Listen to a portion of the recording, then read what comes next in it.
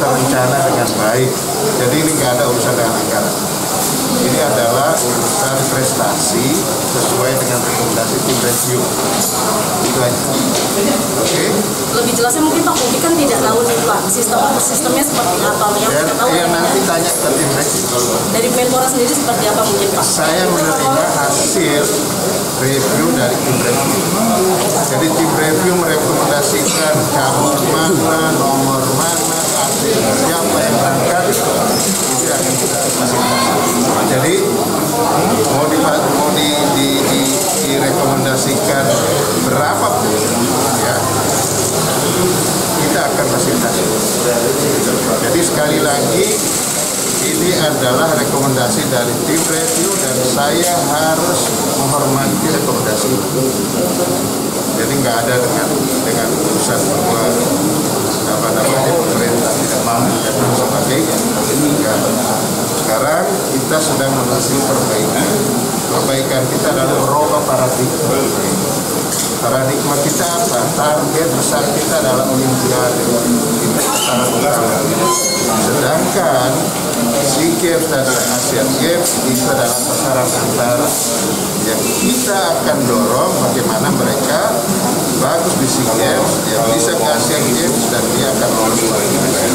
Jadi kita tidak sekedar memberangkatkan ya seperti yang sebelum-sebelumnya tidak ada parameter yang jelas dan saya harus menangkan ukuran-ukuran yang dilakukan oleh.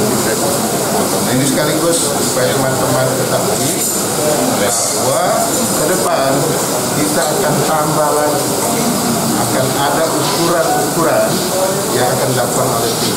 Yang pertama pada saat mulai inventarisir cabur atau atlet mana kita akan ukur soal VO2 max dan lain lain sebagainya. Setelah itu pada saat sudah penentuan apakah dia ada perbaikan dan bisa mempertahankan atau tidak kita akan lakukan. Dan kalau tidak begitu maka kita tidak akan berontak. Sekali lagi ini bukan sekedar soal anggaran ya bukan sekedar anggaran tetapi catatan-catatan yang diberikan oleh tim review itu yang menjadi dasar memberangkatkan tim untuk Pak, ada ada jaminan Pak prestasinya akan dengan semakin baik. Yang yang asal-asalan aja ada jaminan nggak? Yang tidak ada tim review nggak ada kan? Ini masih ada patokannya, ini masih ada hitung-hitungannya. Patokan kita adalah Olimpiade. Sekali lagi Olimpiade. Nah yang susah kita ini tidak bisa membedakan mana Olimpiade, mana Asian Games, mana SEA Games. Kita sudah terbiasa dengan begitu selama ini. Nah itu yang kita rubah. Paradigma itu kita rubah bahwa sasaran utama kita Olimpiade, sasaran antara adalah SEA Games dan Asian Games. Sehingga yang bisa diberangkatkan adalah yang bisa. Jadi nyambung. Pak di tengah persiapan SEA Games ada Asian Para Games yang tinggal 4 bulan lagi sampai sekarang federasinya belum belum Oh, bisa ya, kalau itu urusan administrasi. itu bagaimana Pak? Tidak ada masalah. Asian Para Games. Tadi udah udah selesai. Eh, harmonisasi di antara ini, tetapi tidak menunggu itu, tidak menunggu kan? Dia sudah jalan dan sudah sudah pernah menjadi tuan rumah tahun 2011. Pak Amali mau sekali lagi Pak sampaikan alasan olahraga tidak bisa. Kira-kira seperti apa Pak? Iya, kita apa namanya semua yang berangkat ini adalah hasil rekomendasi dari tim review.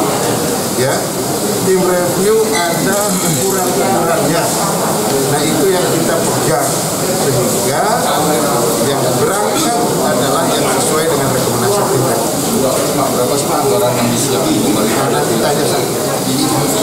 Kabar futsal Pak, udah ada update putra sudah, Fix ya Pak berarti ya? sudah. Tim merekomendasikan tim putra. Pak Menteri, Nggak ada tambah itu. Memang dari awal yang direkomendasikan itu putra.